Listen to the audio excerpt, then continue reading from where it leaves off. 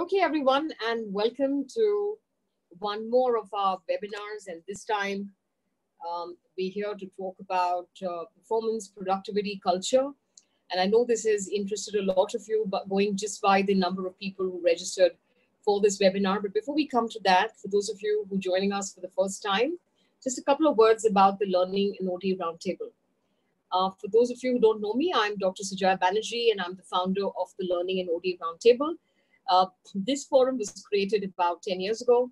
Um, we are a group of curious learners. We come together to be able to focus on, um, on masterclasses and various other formats of discussions and debates and, and learning to be able to enable um, to um, enable personal transformation and enable professionals in the HR learning OD talent fraternities to be able to go back and drive organizational transformation and build learning organizations.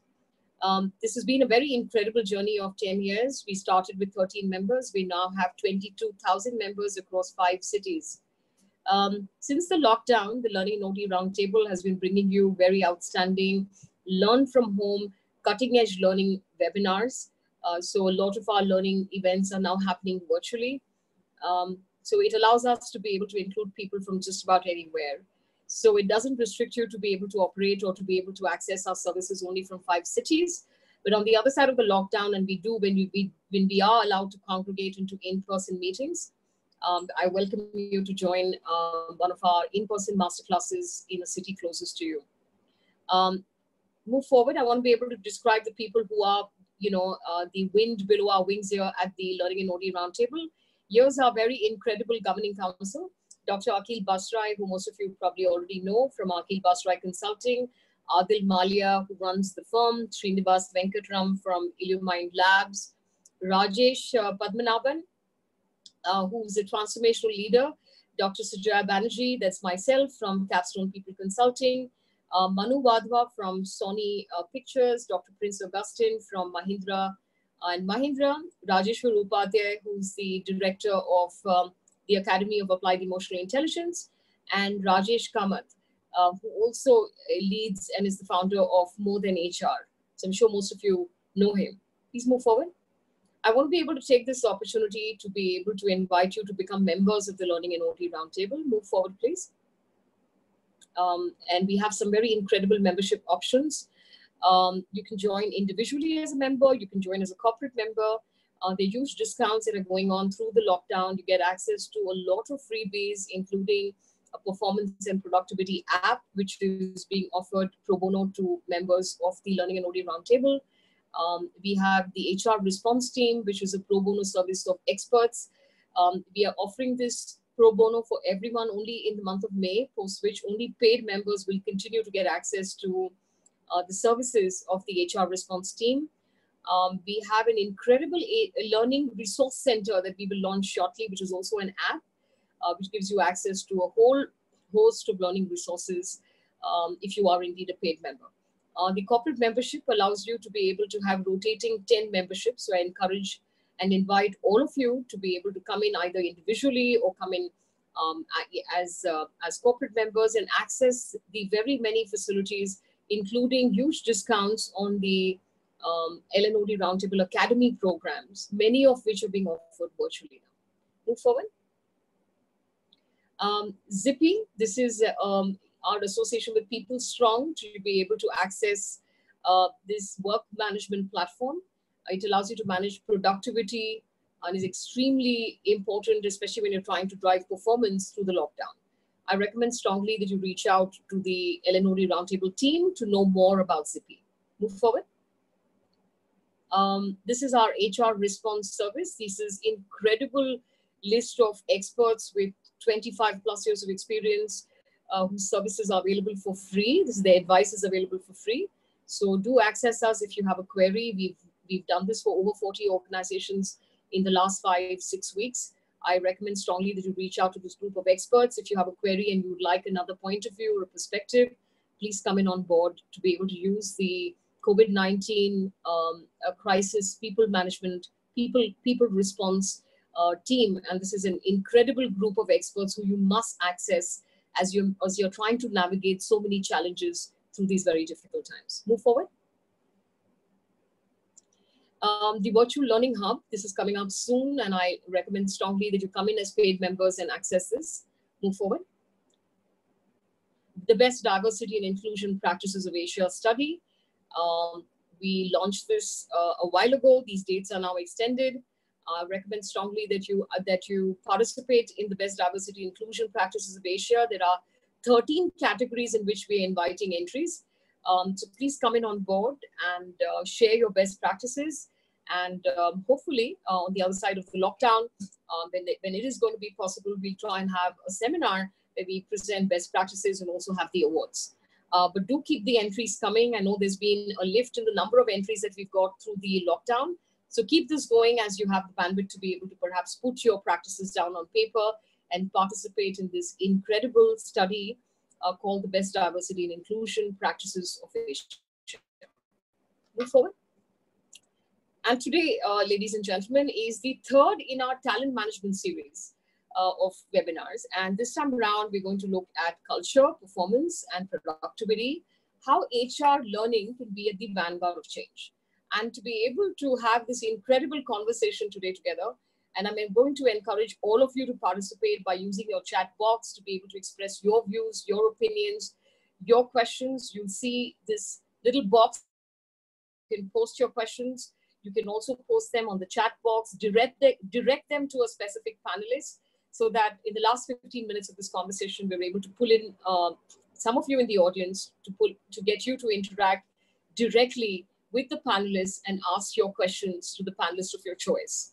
So we'll get some more interaction going in the last 15 minutes. For now, I want you to be uh, uh, to to kind of um, to kind of sit back as I take you through the incredible panelists uh, who are going to participate in the conversation here with us.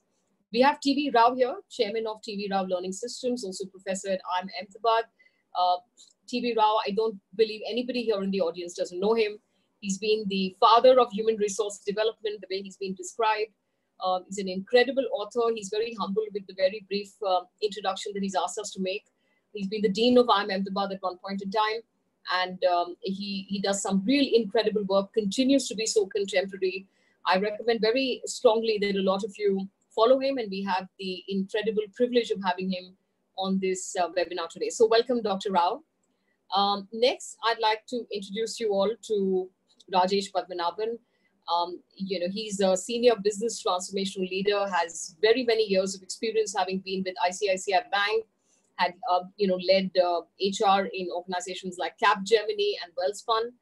Um, he is an incredible thinker, um, is a digital expert, um, has um, a great uh, perspective, point of view, very well-rounded in all that he does. And we are delighted to have him on this panel. So when we talked about culture, productivity, and performance, I couldn't think of anybody else other than Rajesh Padmanabhan coming in on, on board. He has some very pertinent views, and I'm delighted that today we have the opportunity to hear him. So welcome on board, Rajesh. Um, next, uh, we've got Shobha Pandey. Shobha is talent management and diversity and inclusion lead um, for India, China, Asia at John Deere. Uh, she is uh, a mathematics graduate and is an HR professional with over 18 years of experience. Um, she has an in, incredible uh, portfolio of experiences and is also an India Council member at the Society of Women Engineers. And we're really delighted to be able to have Shobha on board. So please join me in welcoming Shobha Pandey of John Deere on this uh, conversation today. Move forward. Uh, next is Bosco De Mello. Uh, I'm not sure many of you would have heard of him uh, in the past, but we're very interested and very excited to introduce the speaker um, you know, on our forum today. Um, Bosco is the chief executive and lead consultant, uh, Conscious Development, uh, which is the name of his organization. He's been a consultant, facilitator, and coach. Uh, he developed um, Conscious Development as an organization about 10 years ago. Um, you know, Bosco has an incredible repertoire of work, a very significant part of it outside the country in the United States, which is the reason why I said maybe many of you would not have seen him on the speaker circuit before. Uh, he holds a master's degree in positive organization development and change from Case Western Reserve University, has a bachelor's degree in economics and statistics. He's also, his background's also advertising and marketing.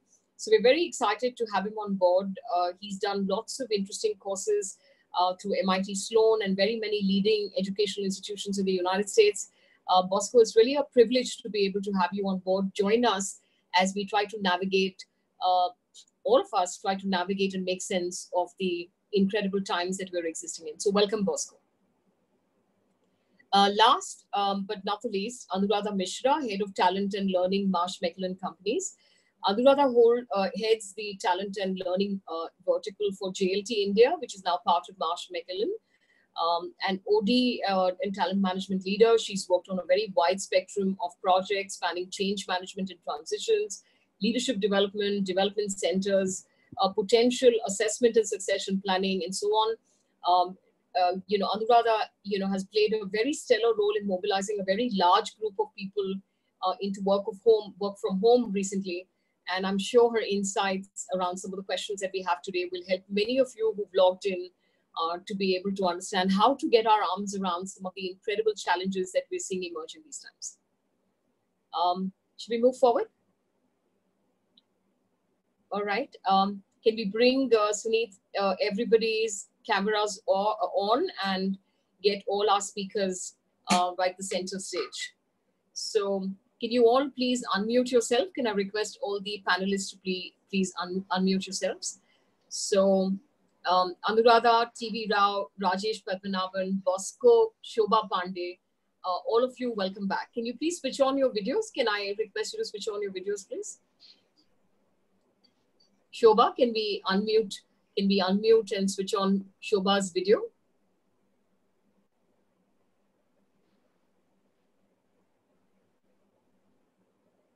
Hi, Shobha. Shobha, are you able to hear us?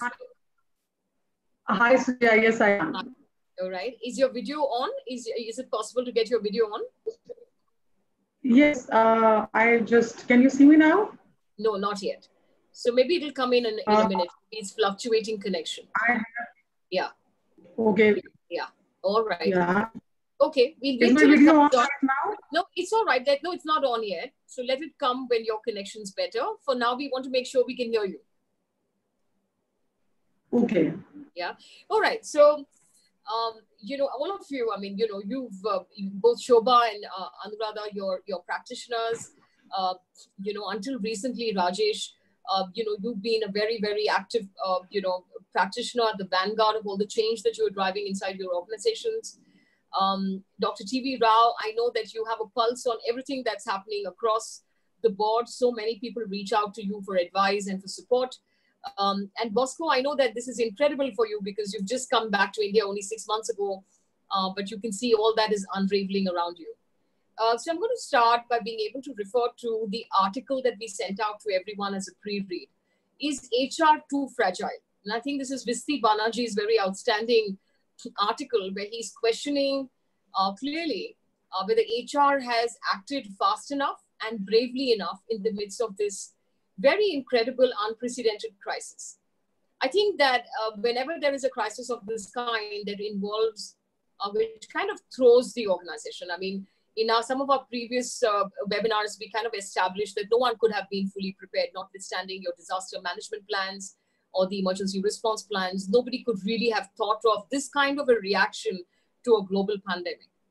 And so, notwithstanding the fact that we take cover around not being prepared enough, even if we saw it coming, uh, I think when when when most of the business challenges was you know were obviously taking precedence over what was happening with people, what was clearly happening was that people were being mobilized to work from home. And even as you were as you were trying to close out the challenges around the business, people were operating in a lockdown from home. So in a, in this kind of um, helpless kind of um, uh, feeling that kind of say, sinks in, there's fear, there's anxiety galore. You don't know what this really means for you, your career, your organization, uh, and the rest of that. It's not uncommon to want to really reach out to HR for support. Um, and I think what Visty um, sort of uh, sketches in his article in a, in a very sort of unabashed uh, way with deep candor is that in most organizations, HR was cat ca- caught either napping behind the wheel or perhaps like an ostrich putting its head down, burying his head into the sand, uh, pretending that they don't quite know what's really going on. There are incredible stories uh, from people across organizations on how HR didn't act fast enough, did not assert enough, did not act as the people champion, and, um, and, and essentially let people down quite significantly in the midst of this crisis. I want to try and get some reactions from all of you on what is your view, what exactly is going on.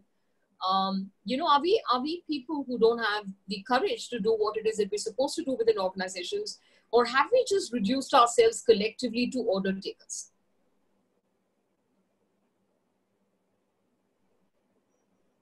I'm starting with the most difficult question first. You want in some sequence, or anyone can answer? No, just anyone can answer this. Okay. I, I uh, read this article with uh, great interest and I thought it's very timely. Uh, 15 years ago, there was a, a similar article, uh, Why We Hate HR. Hmm. I am reminded of that. And I don't, I think the article depicts that not much has changed. I have a feeling that uh, the most important thing that HR should do is to, I mean, HR is not like anybody else. For me, I put HR, if you are real true HR person, even far above the medical profession. Medical profession today, all health professionals are taking care of the health and uh, agility of human beings, hygiene of the human beings. Very important. You can see how much of respect they are getting everywhere. Even the Prime Minister asks at particular point of time, clap for them and so on. Now, a couple of weeks after that, I think we, the country faces a dilemma, life, saving lives versus livelihood. Now, for HR, it has both. You have to save lives of these workmen who are working in this. So you have to make sure all that is applicable to the rest of the citizens are applicable to your employees. Wear the mask, make sure. I think with these last five points, if you look at, I think at the end he says most important thing, make medical help available take care of people if they have already been. So you have to take care of what the health professionals are doing, and you also take care of the livelihoods. So this is a very complex job, no doubt about it, and that's the reason why I mean I, I uh, feel good that 30 years ago I wrote this book, HRD Missionary, and I believe that if you have to be a real good HR person, you have to be a missionary. A missionary does not missionary sacrifices his or her own welfare welfare of the rest of the people. Even if you don't go to that level, I think that is what Visty suggested. Can you work with your top management and get them to slash their salaries before you ask anybody else to leave? I think that is the level to which HR could have grown and they would have got a phenomenally high kind of a respect.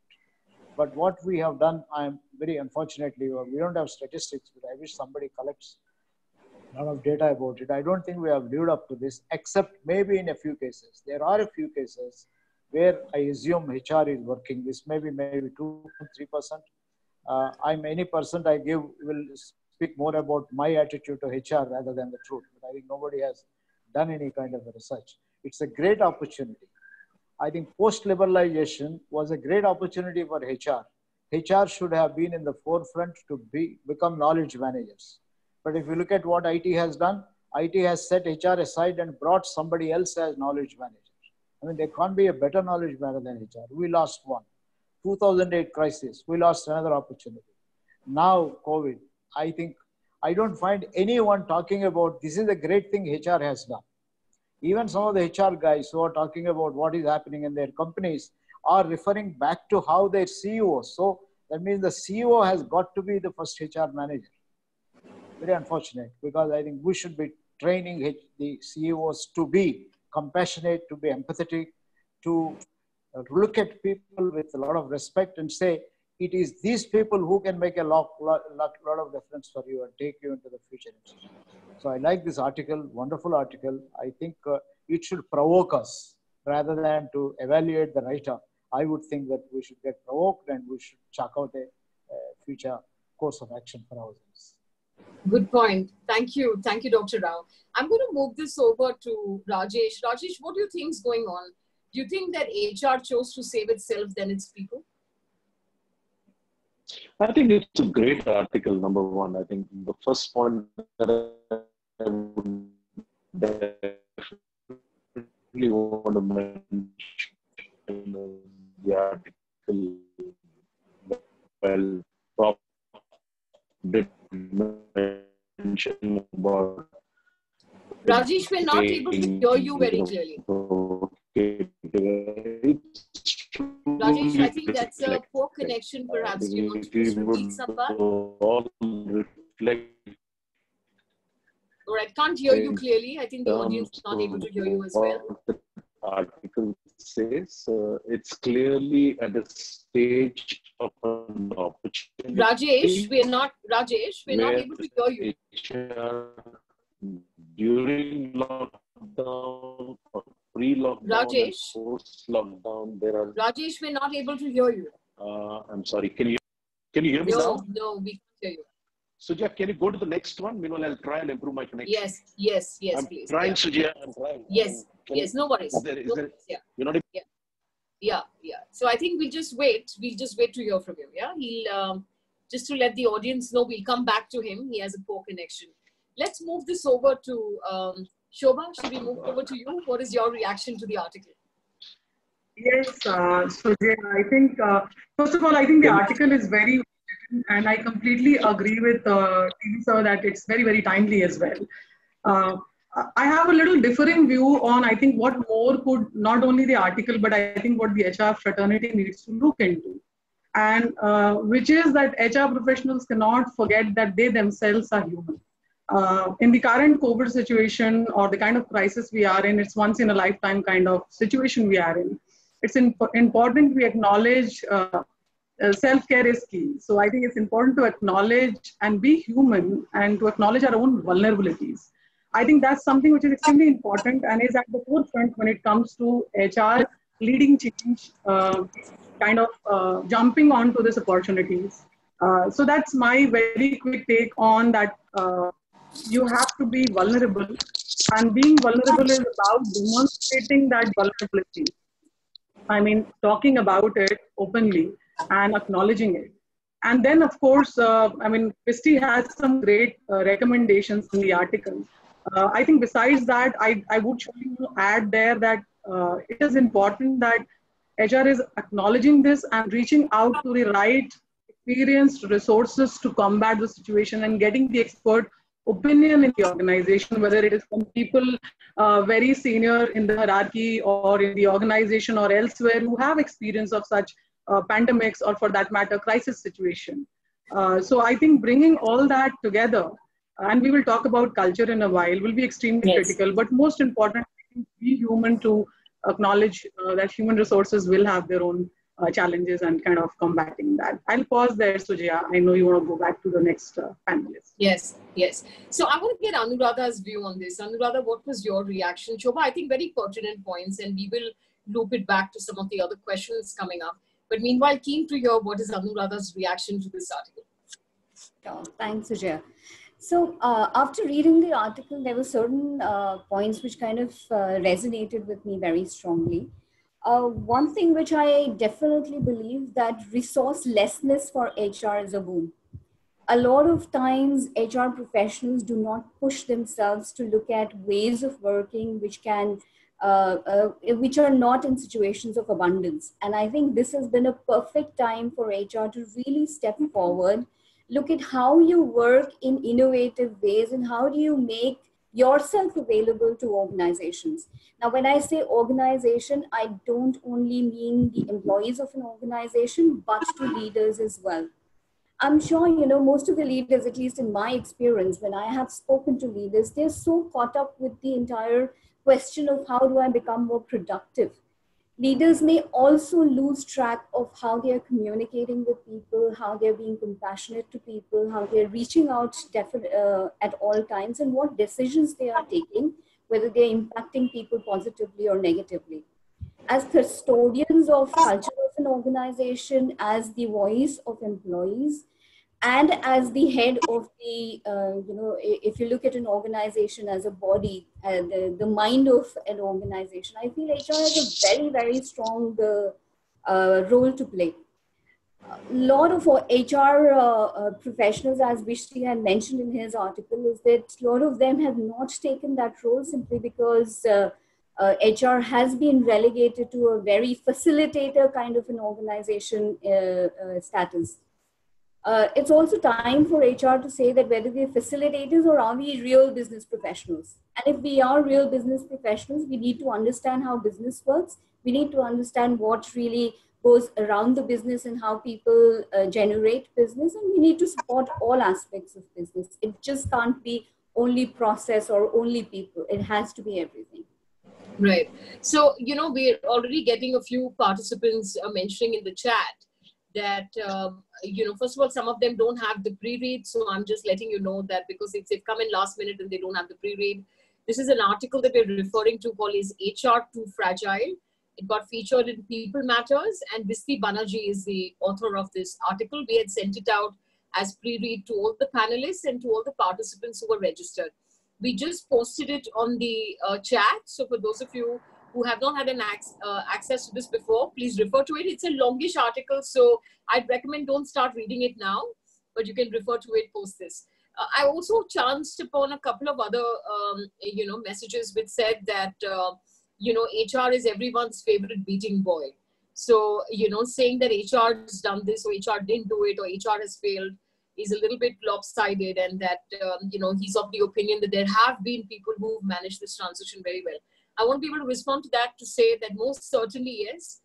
And I think even when we've spoken to each other, or even in the um, in the uh, you know the start, I did mention that there have been organizations who've done this well, but there's large numbers of organizations that believe that they got let down.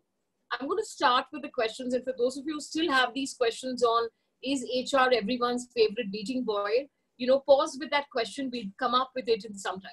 All right. Um, so I want to be able to start by being able to ask, you know, I think one of the biggest transitions organizations managed um, at this time has been around the work from home. So if we look at change management, that was indeed the biggest change that you really needed to manage. And yet there are very significantly large number of organizations that claim there is no work from home policy. They've not been asked to sign any agreement. There's nothing that's been done um, in, in terms of wanting to protect the data, even that kind of, those kind of initiatives are not in place yet. They're still thinking about it.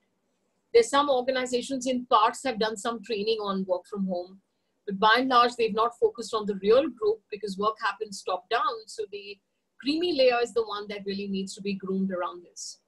And I think for some reason they've been left out of the training or it's been planned for them, not yet done even in the sixth week of a lockdown. I just want some reactions from you on this. What is your own view on how this is being managed? I mean, HR was right in the center of this work, work from home transition. I understand some organizations have actually told people that there is no performance management right now. Don't worry about it. Just continue working as usual, as and get the job done. And then severely complaining around productivity. I'm just wondering about these mixed messages that are going out to people when you tell them that performance doesn't matter at this time and then you want productivity and you're very upset because you're not getting productivity.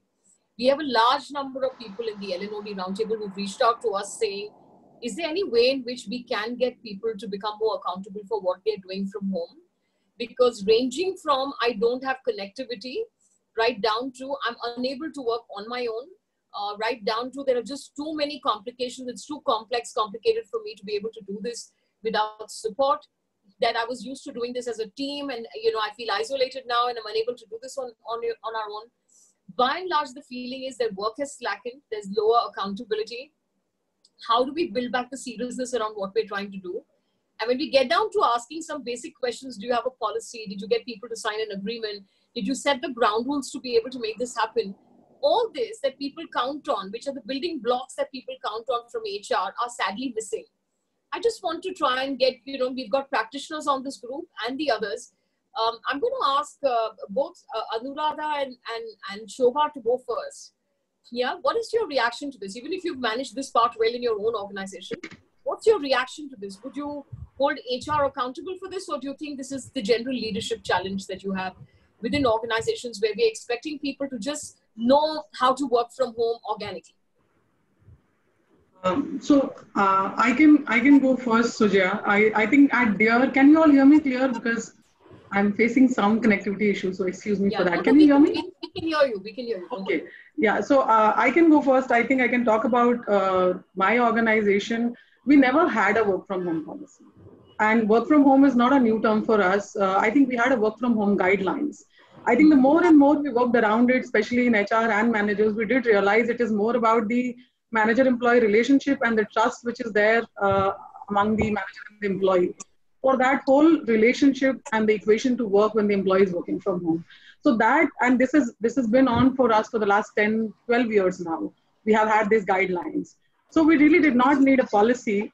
And uh, uh, I, I, think uh, managers were very comfortable because in the tech technology center environment, surprisingly, we had union meetings on virtual platforms.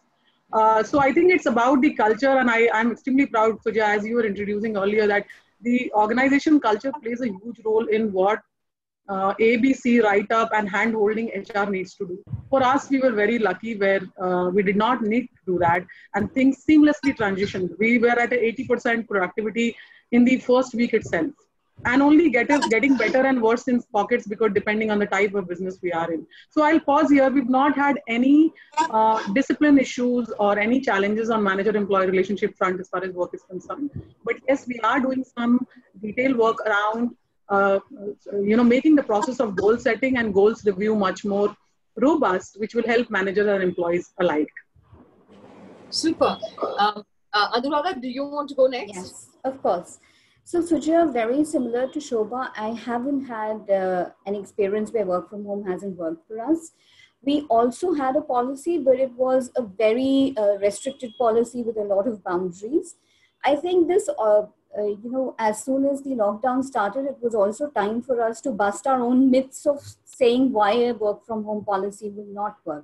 So before when leadership would sit down, they would have multiple issues around data security. They would have issues of trusting people and saying whether they would be able to work, productivity issues. Surprisingly, when we started working from home from the first week itself, um, we saw productivity go up. So while only 85% of the organization was working, the productivity continued to be at 100%, which was definitely meaning that the accountability that people were showing in these situations was much higher than they would in the office right? The fact that you were not being micromanaged impacted their own sense of responsibility uh, very positively. So whether you have a work from home policy or not should not ideally um, uh, be guiding your uh, ways of working in a uh, you know in a situation like this where you're sitting in lockdown in terms of uh, um, the kind of support that we give in work from home, I think a lot has to be done from the leadership as well. Yeah, while the leadership uh, may say that we would like to work from home, there has to be a very strong sense of trust which has to be built in the organization. And that is something which our organization did extremely well uh, we started preparing for the lockdown much before the lockdown started. So, two weeks before or a week before lockdown started, we were already working from home. We knew something would happen. There was a lot of foresight which HR was showing then as well to say that if something happens, how, how ready are you? Yeah. So um, my my point would be that uh, uh, you know when you're looking at work from home, and whether we are wanting to assess our readiness, it has to be uh, a lot of foresight that goes in, the trust that we built in the organization, and generally the leadership culture. Right. Um, Rajesh, I want to bring you in here.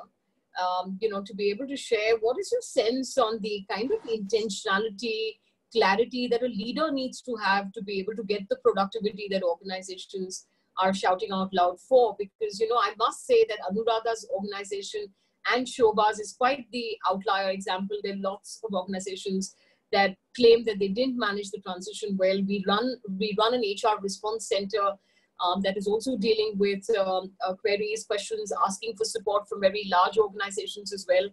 Uh, I'm going to come to the uh, managing manpower reductions separately in terms of how professionally that was managed.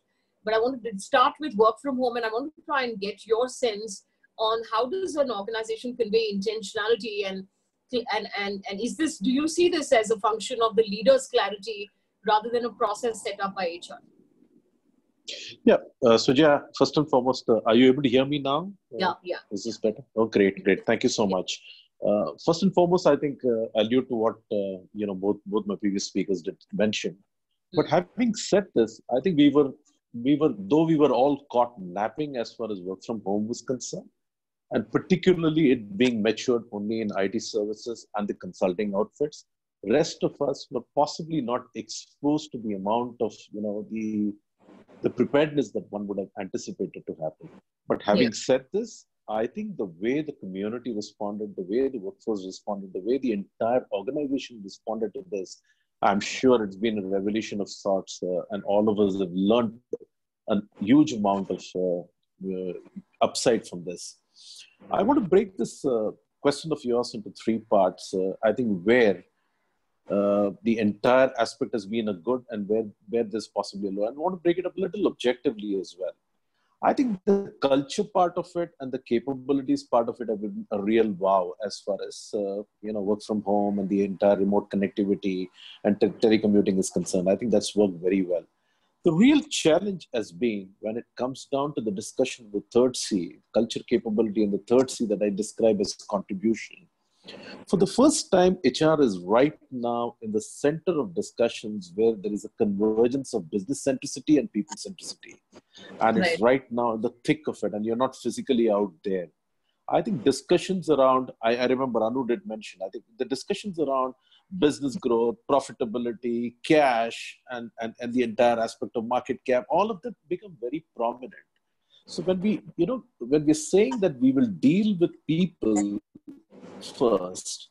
Uh, we have to deal with this entire situation of people first, and similar to how we would have treated a customer uh, care or a customer centric situation.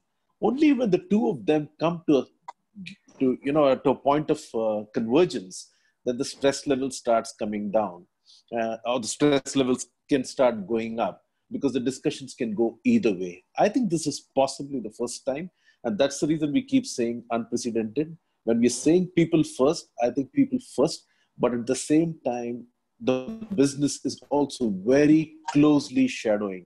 Some of those hard stuff will need to be discussed. And that is where the aspect of, you know, the entire, the third C that I mentioned of contribution really starts taking a little bit of peak. And post-COVID or post-COVIDization, I think this intensity at which we're going to talk about some of those hard data and quantifiable stuff will start taking some of the aspects which are like never seen before. So I think that's where the stress levels started coming coming in. And when we don't have faces to connect, and particularly when we're all at, at remote, uh, remotely functioning, this problem is little accentuated, and that's where you know uh, this article, this article takes you know huge amount of center stage, but yeah. it's also an opportunity as I see it. It's also right. a huge opportunity. Oh yes, most certainly. So I'm going to now direct the questions to both Bosco and Dr. Rao. Um, you know, I think the for the organizations that did manage to make this transition and settle in, I think the first thing that a lot of organizations did was to be able to look at how to use some of the downtime. Um, and I know that there has been long hours for lots of teams, and um, you know, the, the fact that you're now slowed down is a myth for many organizations because you're actually working perhaps harder because you don't have, you know, there is perhaps lack of familiarity on, on working in these formats. Uh, teams need to have multiple iterations to be able to get the job done. So teams are still pivoting around how to work without being congregated in the same place, without getting access to each other as easily. So it could just mean more work, which it is indeed for um, several teams. But there are lots of groups which kind of by virtue of the roles they perform have lesser to do. And I think there's been a tendency to be able to uh, go all out to say, can we can we roll out learning resources to these groups?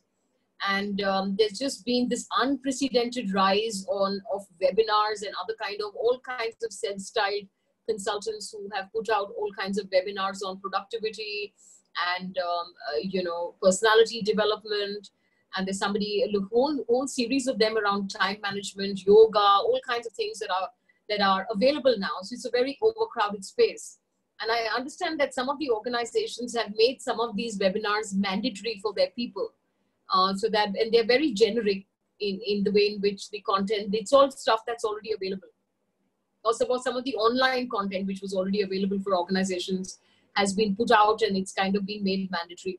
I want to be able to get your reactions on this because I think there appears to be a, um, uh, a kind of illusion of getting people constructively engaged through learning especially when you don't know how to make them contribute in any other way. And this time around, I'm obviously referring more to the mid and the junior levels within organizations, maybe in parts even at senior levels where there is a tendency to want to dole out learning resources to people, most of them seem very generic in their content. So I just want to get a reaction to this um, keeping people engaged through learning, which was point number two.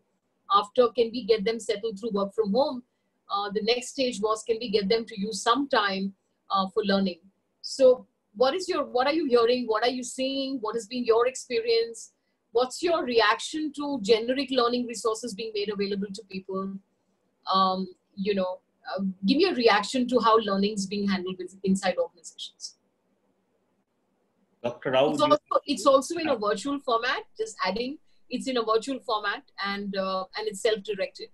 So it's got many angles to what, the way in which perhaps a lot of um, individuals are not used to learning.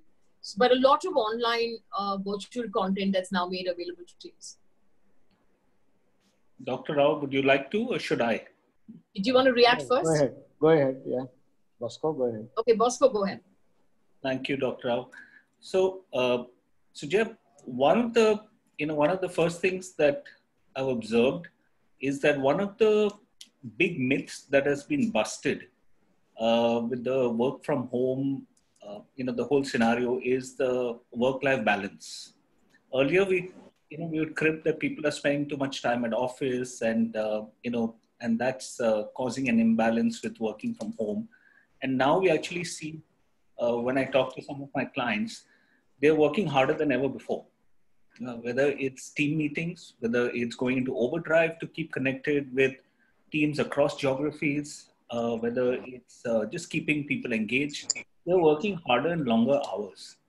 So work from home is certainly, you know, while it is the need of the hour and it is serendipitous in the sense that we've had no choice in a in case of a lot of industries to do this we really have to take a long hard look at how are we going to make this work from home policy uh, productive so that it doesn't end up being a, a, solution that's worse than the problem that created it that's number one number two is that you're absolutely right what we're seeing is uh, uberization now of webinars and all kinds of learning resources literally being thrown at people.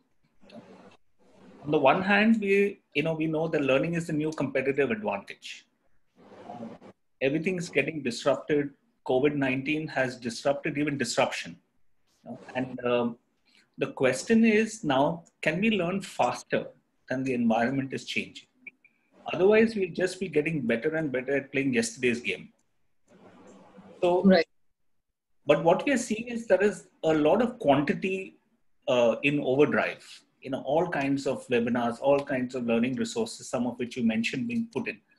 But I think what is incumbent on talent management, HR, learning and development is to make a distinction between capability building and capacity building.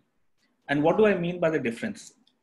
I mean by capability building is that it's about building new skills, new technologies, uh, new ways of doing the job better. And that's certainly where most of the discussion is happening. How do we reskill people? How do we upskill them? How do we get them to do job better and more productive, etc. And what COVID-19 is actually pointing us to is also to look at capacity building, which is to look at the mindset of people. Are they able to reframe what's going on? are they able to do more with what they already know? How are they going to sort of function in an environment where you don't know where the big, next big disruption is going to go on? And if you look at uh, you know the article that Visty Banaji has talked about, uh, he's talking about anti-fragility. Anti-fragility is about emerging stronger. It's not about resilience. It's about emerging stronger. The question that we have to ask is, the learning that is being provided right now, the opportunities for learning and the webinars, are they going to enable people to emerge stronger? Or are they just going to, you know, in a way, tell people, okay, we've learned something new, but are we prepared for what's going to come? The world is going to change. You know, we don't know where the disruption is going to come from. Are we prepared? Do we have the mindset to navigate what's going to come our way? Or are we still playing yesterday's game? So in a sense for leadership also the challenge is before we knew we before we learn anything new we have to unlearn what we know. And that is devilishly hard. Because you have to unlearn your uh, you know your old order your old way of knowing things and be open to there's a new way that new, new business models going to emerge. There are new challenges that are going to emerge. There are new uh, you know challenges from the entire ecosystem whether it's the suppliers whether it's it's the environment whether you're different constituents how are you going to be able to deal with those challenges and find answers to problems that are not yet on the horizon? And that to my mind is a is a mindset game. And i think with all the learning that's being put out there not enough attention is being given to how do people develop an anti-fragile mindset? How do we how do they up their game so that when the world comes back to whatever the new normal is yes. that they're able to function and they're able to sort of hit the ground running in this new context and this uh, you know in this new environment. Good points. I'm going to turn this over to dr rao. Dr rao what is your sense on what is happening in the space of learning at this point? Because a lot of organizations want to invest in it um, you know but it seems to be some generic stuff that seems to be available. I'm just trying to figure like to to, to um, bosco's point um, the need for wanting to be able to address real pain points through learning uh, at this time. Because like we're saying that we have the responsibility of preparing people for a new world. So what is your reaction to that? Yeah i will respond to a couple of other points that were made earlier. The first point was that every time there is an issue like this hr becomes a whipping boy. I think the reason is we have lifted up hr nobody talks of any other profession. They only talk of hr why this is because expectations are high we said hr is a is a philosophy is a way of life but if some people treat HR as a job, you're doing a great job. I think that is what the whole point of this is that you are only doing what you're asked to do. So you are doing a great job. So I don't think anyone should be disappointed if some people uh, are critical about HR. This is because of high expectations. In fact, in one of my articles, I said HR should think even ahead of the CEO. That is the level to which we are. Second issue, I have a feeling which relates both to uh, work from home as well as uh, the learning and development issue that you talked about. I think it's a little too early to come to any conclusions, either about uh, formulating policies on work from home, because we're all experiencing. It will take time. What we need to do is a thorough research, because every organization has its own kind of work from home for IT is not new, whereas for a manufacturing company, it has its own peculiarities even in manufacturing, I think for certain functions, it has its own peculiarities.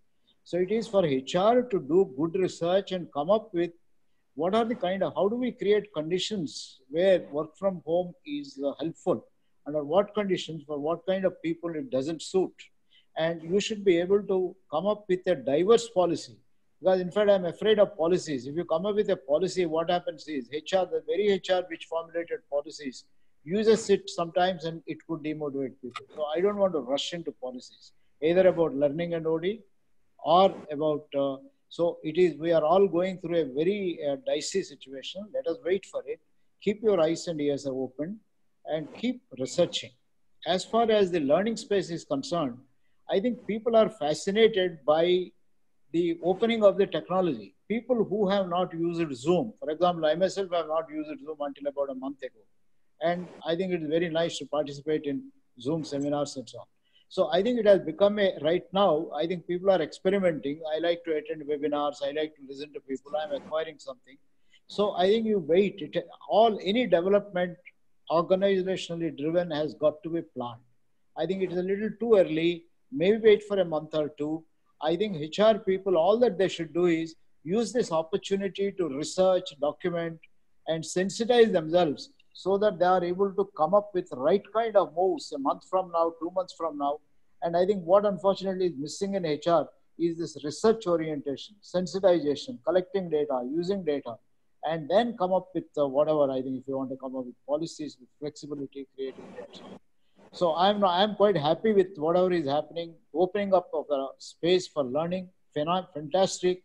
In fact, I have choices to make uh, right now, I think when we are talking here, there is a HRD network uh, Zoom webinar is going on. Uh, and then there are several other kind of things. You make choices. It's wonderful to have to make choices and do what, what is best for you. But this is, mind you, this is self-directed learning. Soon you will move on to organization-directed learning, which is going to be competency-based. Those competencies we are still not sure because every organization has to work out its own future. Yeah, yeah, that's true. It's still work in progress in a way, and I kind of endorse what you're saying here. Um, having said that, you know, I think being able to do the research around the policies and perhaps even the agreements may be a great idea to avoid some of the challenges that you're experiencing and the pain points you're experiencing, but with adequate research that Dr. T.V. Rao is talking about. Uh, I just want to be able to do a quick uh, time check. We have about five minutes to go. Um, and I'm very sure we're going to have to extend this webinar. So I'm just checking with the audience whether you're okay because we perhaps need another five or 10 minutes uh, to talk to the, um, to the uh, panelists and then we'll open it up to Q&A with the audience. Uh, so this is likely to go to 450, 415, maybe 410. So uh, we're going to carry on this conversation. I hope that's all right with the panelists. Are you all good on time if we go to 415? All right, great stuff. So I'm going to ask the next question, and this time it's to Anuradha. What is your sense on what kind of leadership development is organizations investing in? I know there are organizations that are already willing to want to start looking at this. Um, to, to Dr. T.V. Rao's point, do we have clarity emerging on which kind of competencies we're going to need more of?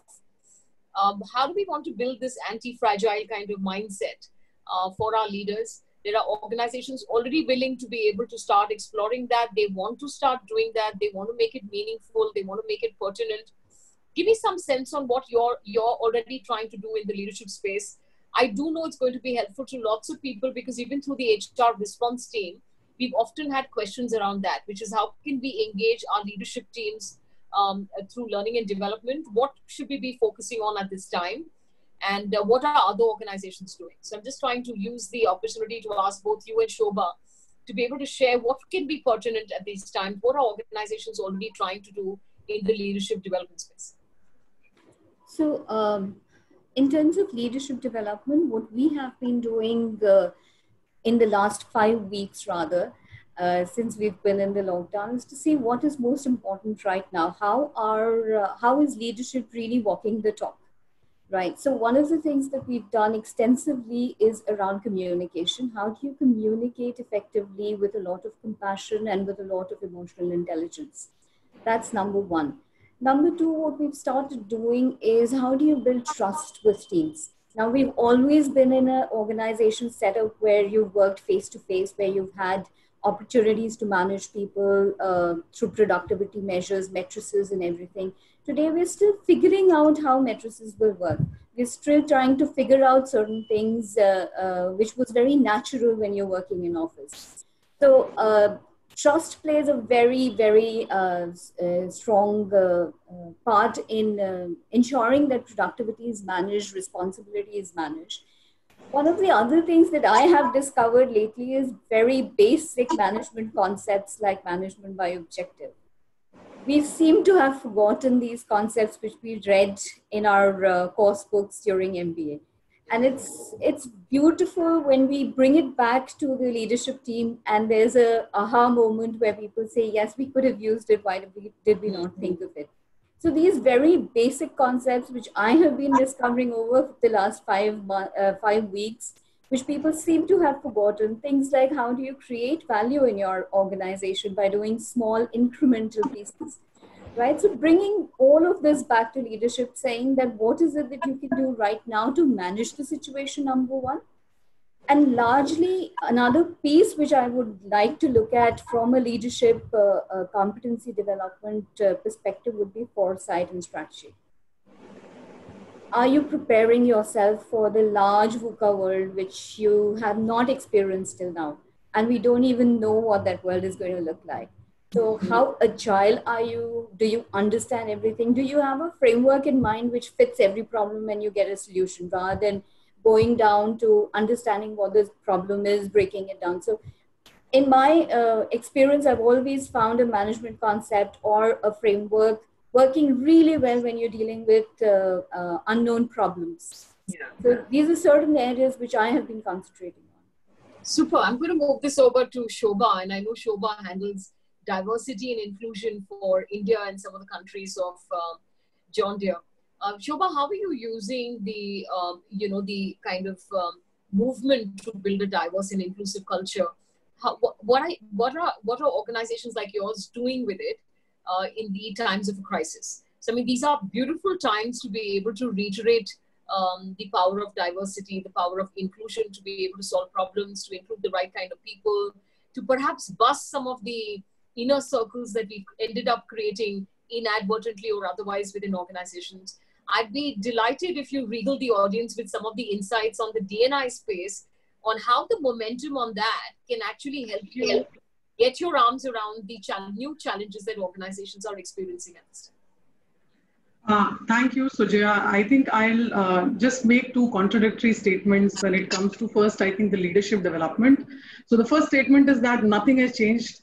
And the uh, second statement is that everything has changed. And now let me explain these two statements to you. Uh, uh, so I'll just tell you our competency framework is very, very broad. Uh, and we're just looking at three things. One is that fulfilling the mission. So you can call it running the railroad, business as usual, the second is leading change, and the third one is creating the future. And I think uh, Dr. Rao and Bosco has added some great significant points on what HR should be doing. We are uh, dealing uh, in our own way. Now, coming to your question of diversity and inclusion, uh, Sujaya, like I said, so when it comes to fulfilling the mission, we did not change anything. We said that we want to go ahead with the set plan. So we very recently launched our uh, MENAS Diversity Partner Journey, which is a long, four month long journey with classroom interventions and so nothing changed on that front. The journey is on. But everything changed. From classroom, we've migrated to a virtual format. And Sujaya is smiling because she is partnering with us on that journey. And we had an exceptional participation because I think the uh, country top 10 coming together and talking about these aspects, finding time in current times to, you know, where there is pressure of resumption of operations. We are into agribusiness. But despite all that coming together, taking up the conversations on unconscious bias and the kind of culture we want to set up, I think those things have not changed. So uh, that's why I said I'll make two contradictory statements.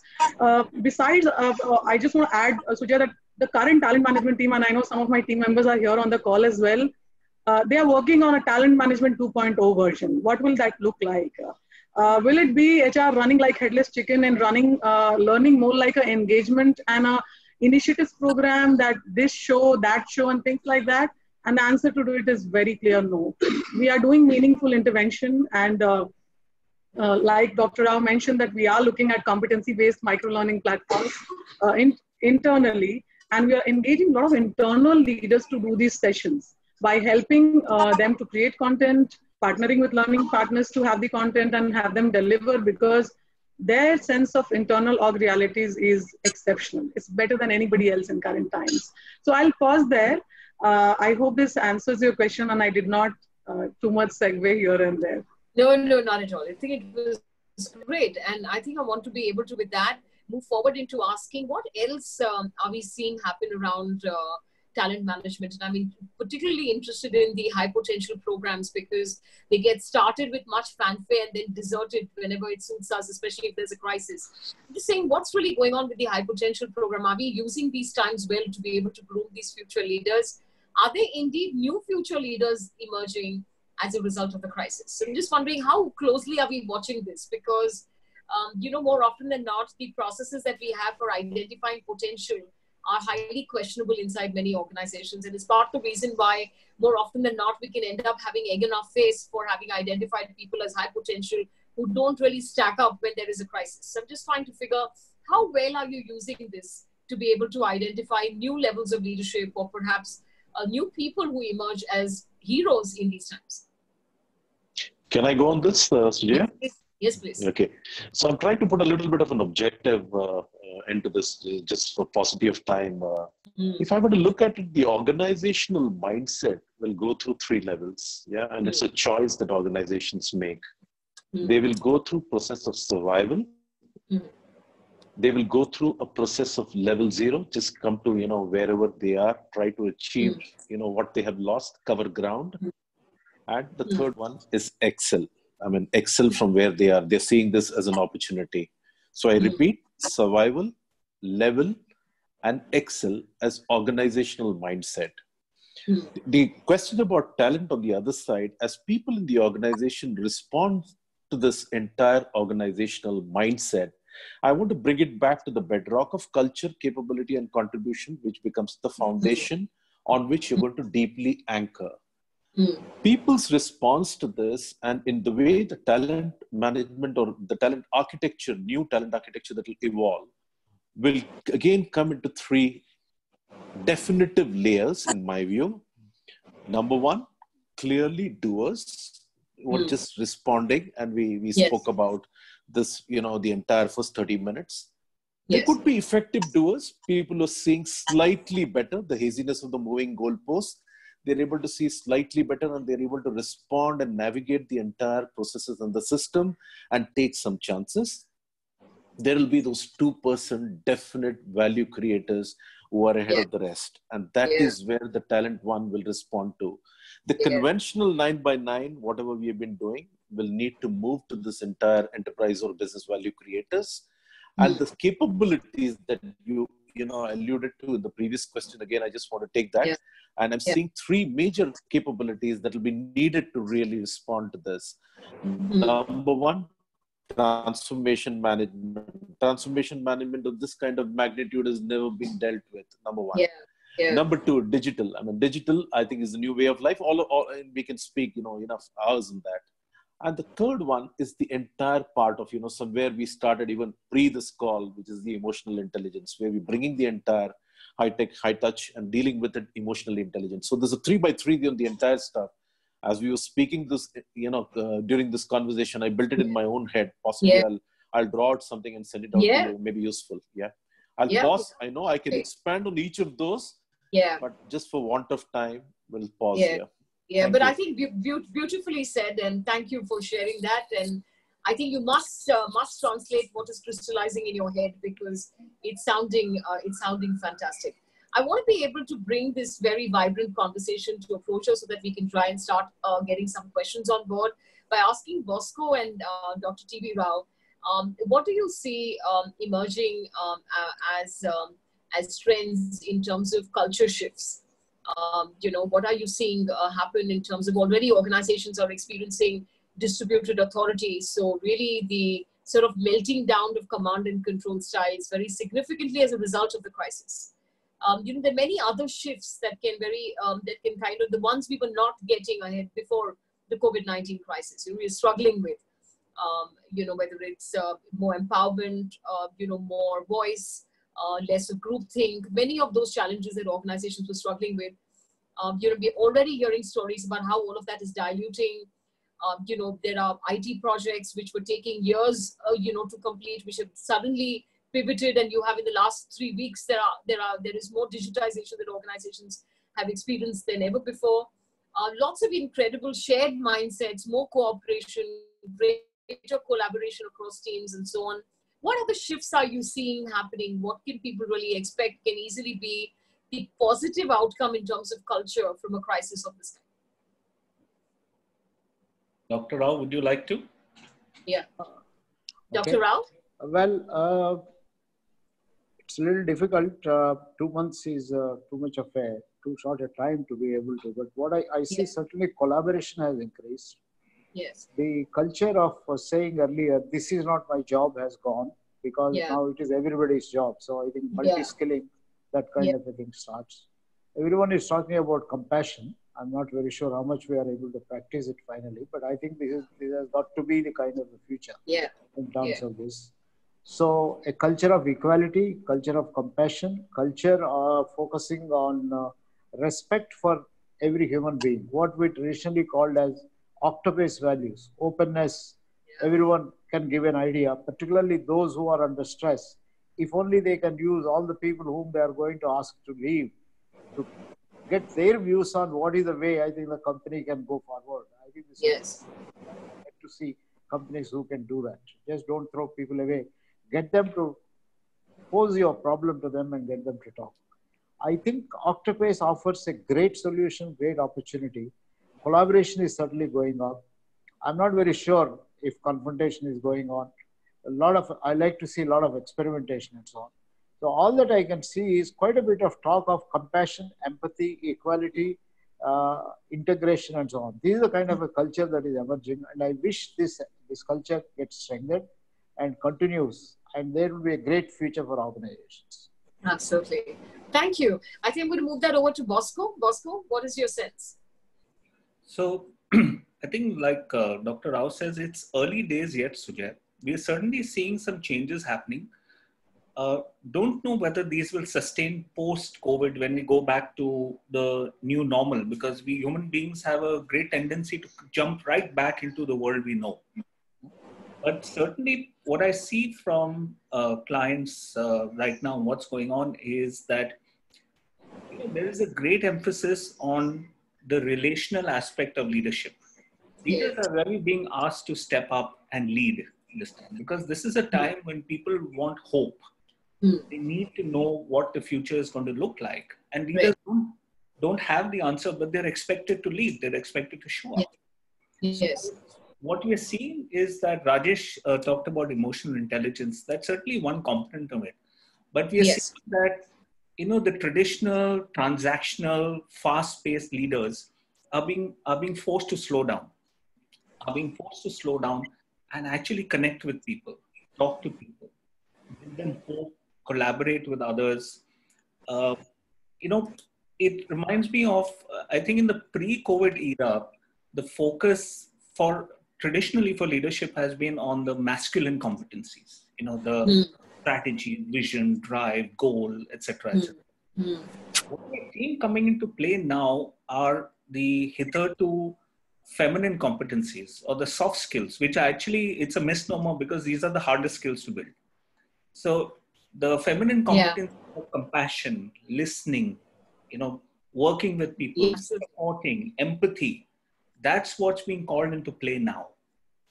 And leaders some of them are being forced Yes. to sort of acquire these competencies because that's the only way you can how do you bring people together in a time like this when there's fear? You know there's kind of a corporate ptsd so leaders are being forced to to do things that they're Yeah. not to do. And these competencies i think will be required even post uh, you know covid of relating Yes. empathy connecting because that's the only thing that keep teams and people coherent when the next crisis hits Yes. Otherwise, we'll be asking ourselves, oh, what did we do at that time that worked? Hmm. These are the competencies that are actually critical for us to build into our competency frameworks and actually, if required, overemphasize on them at this point in time because that's what's keeping people sane. That's what giving people hope. So leaders have to step out of themselves and connect Right. and to people.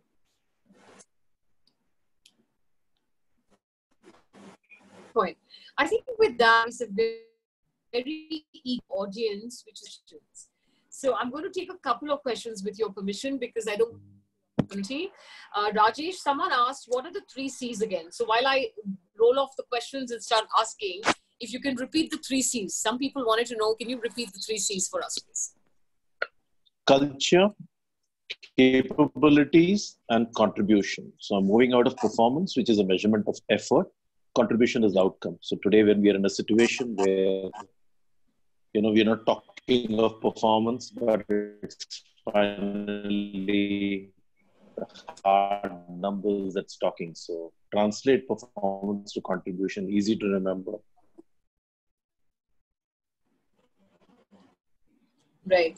Um, so there's an interesting question here. Asking, sorry, sorry, Rajesh. I think you have a you have kind of an unstable line, so we can't hear you very clearly. All right, you've got the three C's. So I'm just going to go forward with asking the questions.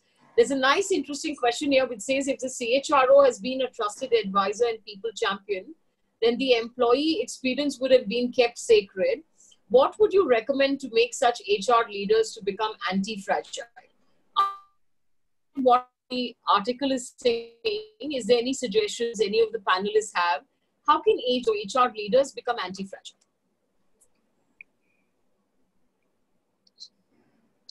Uh, Suja, I can go, uh, and I, I do. Yes. Yes, please, please do. I do want to let the participants and the panelists know that I'm personally going through imposter syndrome right now.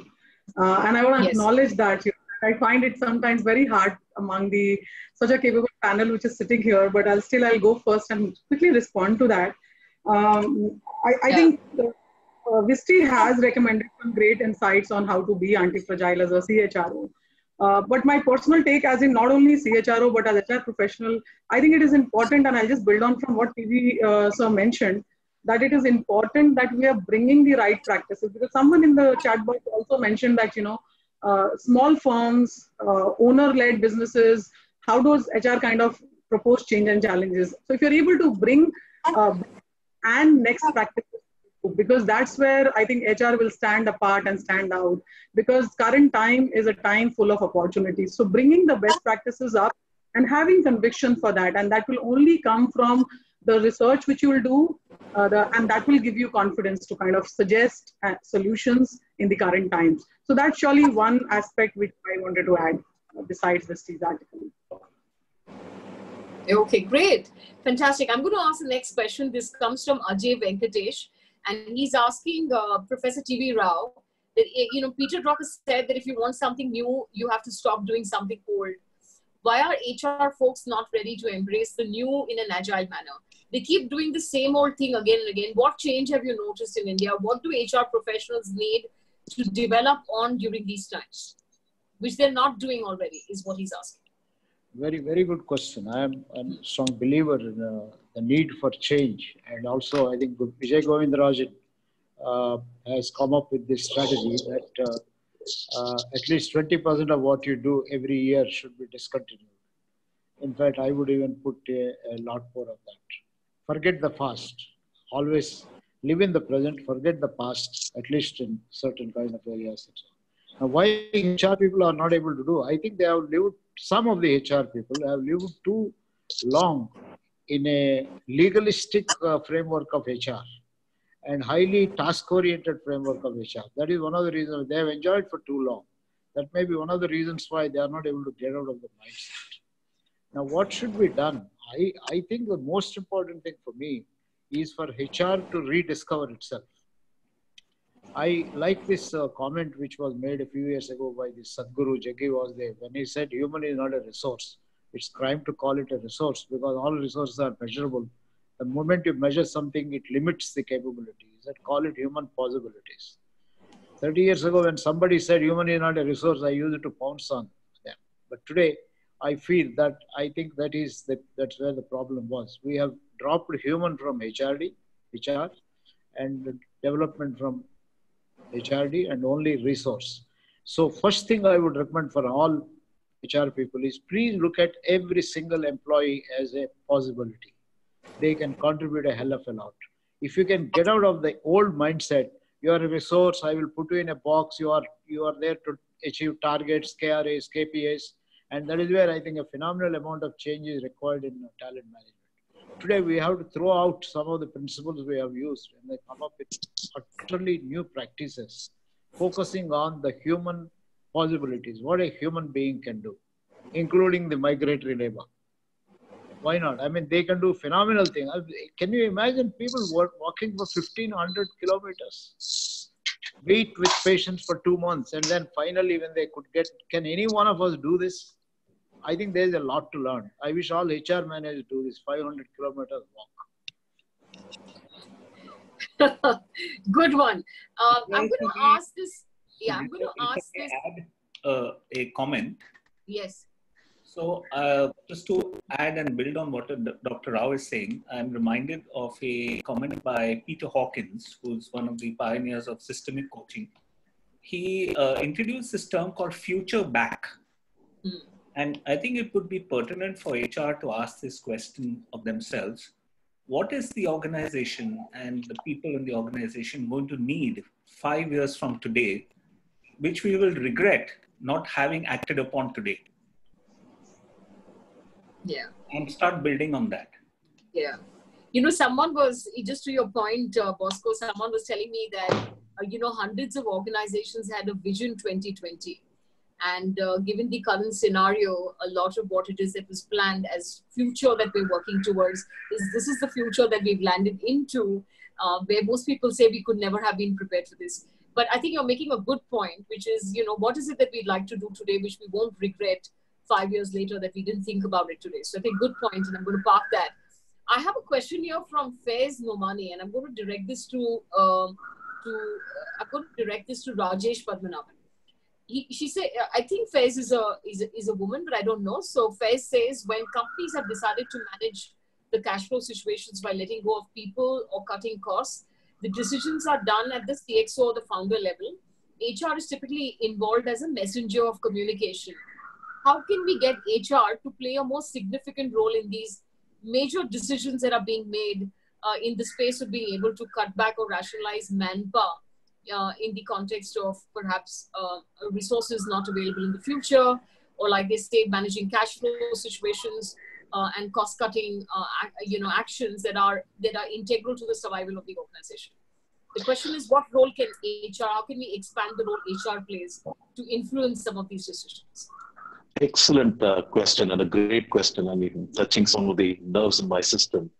Uh, this is what I've been advocating for some time. You know, in a situation like this, what I define as quant I think Dr. Rao clearly said the human part of it and the development part of it is, you know, moved away and only the resourcing part of it is left. So the hard part of it, which needs to be dealt with strategy, the real business, I'm dealing with it as, you know, two parts that have got to touch the P&L and two parts that have got to touch the balance sheet. Only then you get the balance as far as the quantification of the quant HR is concerned whatever is touching the P&L as far as people costs are concerned, your, your, your salary, wages, and all of them are typically the P&L stuff which you need to be aware of, which is where the impact is felt at the top line, at the bottom line, you know, a significant contribution to EBITDA and all that comes under pressure in situations like this, which is actually putting the entire system under stress. But having dealt with this, I think the capabilities of an effective CHRO who understands how to channelize people's spends between people P&L and the balance sheet, which is what the capability building is all about, which is the balance sheet item. So eventually, how do you manage capital and costs and spends? How do you bifurcate them? How do you do some kinds of takeaway, which may be the need of the hour, but how do you channelize that into development or into balance sheet? Is the real answer. And there is no work that has ever been done in this space, space except for some amount of skill quantification. So there is an opportunity. It's an it's a completely untraveled uh, road, but clearly this also puts the the, the HR professionals in the forefront of true business partnering, which we've been talking about for so many decades. I think we need to jump into some of those quantifications right now to make sense out of what this is all about. So it's a right mix of the soft and the hard skills that they need to really bring into play. And only then you see a clear journey forward. So I think that's the way I would look at it, but happy to respond to this a little more in a detailed manner if you were to connect with me offline. But I think business understanding and really knowing the numbers, understanding strategy, understanding business, understanding the numbers, and understanding transformation while the goalposts are still moving will be some of the new skills that a CHRO will be exposed to and the team as well. Right. Good, good points, uh, Rajesh. You have very effusive reactions to what it is that you're saying on the chat. In fact, for all of you, uh, I'm going to pose a last question and we'll try and close it uh, at this point. Um, you know, I'm going to leave it with the two ladies, right? So I'm going to get Anuradha and uh, Shobha to go on this one. There was a question on the um, in the Q&A segment saying that we're very quick to talk about what capabilities the organization needs and what competencies do our leaders need and what should we be doing across the board. And we're very, very busy planning all of this and thinking about all this. What capabilities do, do HR need in the new environment? And what's your take on what to be in HR, whether in learning, talent management, coding? What, what capabilities do we need? Which new capabilities do you think we need that should equip an HR team to be able to manage these unprecedented new times? Uh, I'd like to go first on that one. Uh, when you look at the new times, I don't think the old times and new times have changed much for HR as such uh, you go to an HR professional and they would say, Oh, I've been managing fire. And today also they say, Oh, I've been managing fire. What we need to understand is managing fire is not about just moving the paper here and there. The biggest chance that HR has today is to have business acumen. Understand what is business, understand what drives business. if we know where to put the buck, we will know where to move uh, development efforts as well. If we know what's moving business, we will know where we have to move. So, for example, when I look at my organization today, there's a lot of uh, you know similar conversation happening in the organization saying where are we going to go next? What is the new norm? All of that. But today possibly we're doing those conversations to say that in two years time what is the talent that you want to develop? And this hasn't changed for me. I was doing this conversation even two years back you know trying to understand what 2020 would look like. I do want to understand what 2022 will look like and how do i then deal with 2022 2022 differently right? So uh, the biggest thing that we need to understand is how is business moving what is most important for business and then uh, you know make our solutions which are relevant to business.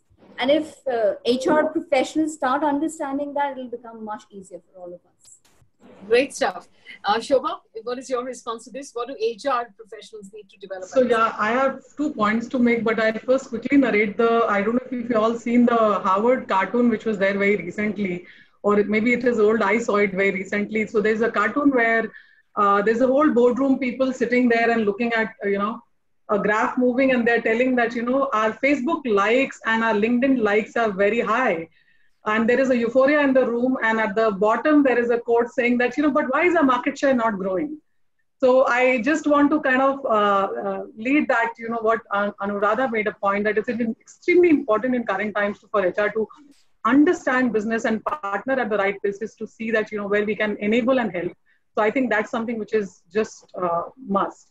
I think the second point which i was wanting to make is picking from uh, Dr. Rao's mention of uh, um, uh, Dr. Govind Rajulu's three box model, he spoke about doing new stuff and creating future possibilities. But one box is also about what are you stopping to do? And I think we as HR are uh, little terrible at stopping to do certain things. Once we start something, we want to lead it like a legacy and keep going forward. So the capability question, which I want to respond in one word, is learning agility. Uh, you can go and read up on that. It has got mental agility, people agility, and I think everything comes together with that one competency, which is most critical for HR more than ever before is learning agility. I'll pause here. Thank you. All right, super. So I'm going to ask all of you a question, which is give me, um, and it's going to be rapid fire. So I'm going to ask all of you to say something to the audience around, you know, Josh Bersin says these are incredible times for HR to emerge as the real heroes of this crisis. So I'm going to now contrast this with this article that we read earlier in the morning, which is really asking some very pertinent questions around courage and fragility and resilience and the rest of that. I'm going to turn this around to say, you know, give me a last comment on how you believe HR can become the hero of these times. So, Dr. Rao, should we start with you? What did you say? How HR can become? The real hero of, this, of these times. Real hero. Okay. Oh, wonderful. I think first, I think have faith in yourself. You have to have tremendous faith. And number two, have faith in other people. People can do wonderful things, irrespective of caste, community, designation, richness, poorness, anyone, every human being can do a lot. So I think have faith in yourself and believe in other people. Thank you. Lovely. Anuradha, would you like to go next? Uh, my two points would be first is courage. Yeah, all HR professionals need to have courage. Second is ask the right questions. If we can ask the right questions and guide the organization in the right direction, I think we uh, there's nothing more that we can uh, do better. Good point. Great point. Rajesh, what can make the HR emerge as the real hero of these times? Tenacity, resilience and transformation. I just just give me 30 seconds more. Uh, I truly believe, I truly believe this is the stage of people transformation. It is as big as possibly what we saw as industrialization, economic growth. We saw automation, uh, the IT wave, and the last one that we saw was digital. I think this is going to be another big revolution of its kind because every single individual, irrespective of whatever in, in, in life, uh, let's let's park the work part of it is undergoing yeah. transformation. Yeah. Workplaces yeah. are undergoing transformation. So teams, organization. I think we are at the center of this entire transformation. Self belief, resilience, tenacity, and having the ability to transform with deep understanding of business will make all the difference. And that's exactly the reason I see COVIDization as an opportunity to transform the world through people. Super, and amen to that. Uh, Shobha, do you think we're on the threshold of an inflection point in terms of finally getting this, the place on the table, finally being valued for our wisdom, being seen as the trusted advisor? Is this the chance for us to be able to do that? Uh, the one's uh, word answer is absolutely yes, Sujaya. Uh, I have been always inspired by the book by Malcolm Gladwell, which is Outliers. And I'll just uh, say that, you know, we finally are the sum of opportunities which we get. And I think never before opportunity we kept hearing on incredible time. So I think we uh, HR needs to look at this as an opportunity. And I just want to leave with a quote, which is opportunity seldom knocks the door and it is dressed in overalls and looks like work. Like work. So get, yeah, so get going. so grab that opportunity and get going uh, is what my message will be. Thank you, Sujaya, for the opportunity. Great one. Thank you, Shobha. Uh, Bosco, you, you get to have the last word. Okay, so I'll be I'll make this really quick. My request to HR would be, uh, you know, the the Latin phrase "carpe diem," seize the day. Hmm.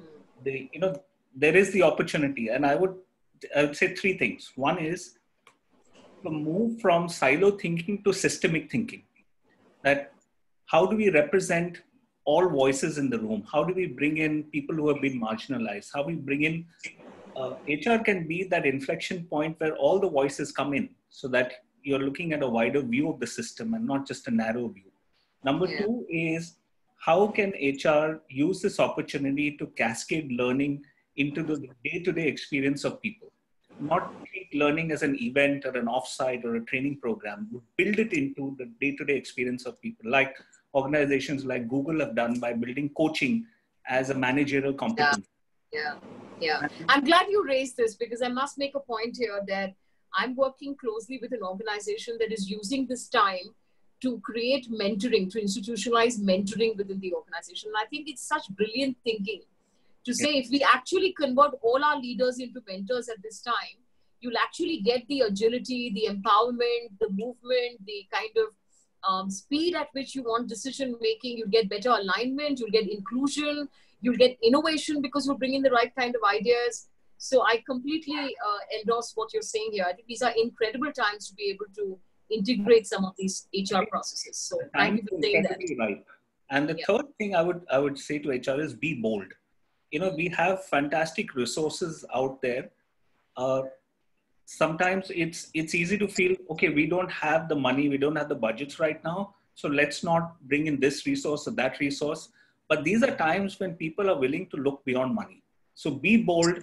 If you see a great resource that you think will be useful for your organization be bold go out there tell them you know would we'd like you to be part of this journey. And i'm i'm 100% sure 80 out of 100 people will want to be part of that journey yeah, good point.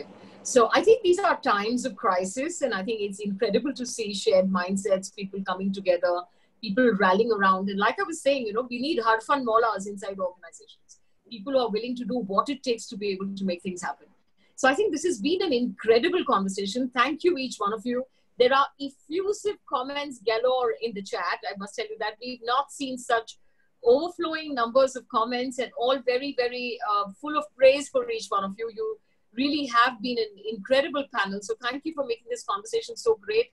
You know, we're at uh, 90 minutes and no one seems to want to leave.